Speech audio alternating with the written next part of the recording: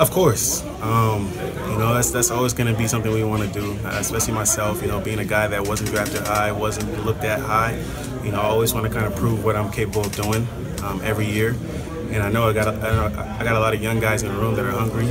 Uh, you know, we got undrafted guys, we got seventh round guys. You know, we don't really have any top guys. So if we can come out this year and really prove everybody wrong, I think we're going to be really happy. We're going to put out a good group of guys that I think will be hungry and feisty and and with our new offense, it'll be get a chance to, you know, you get a chance to see what they can do. Well, when I was younger, it was a lot of like, man, I hate that. You know, you guys should know better. But how can they know better when they haven't seen anything? So, you know, it's up to us to prove them wrong.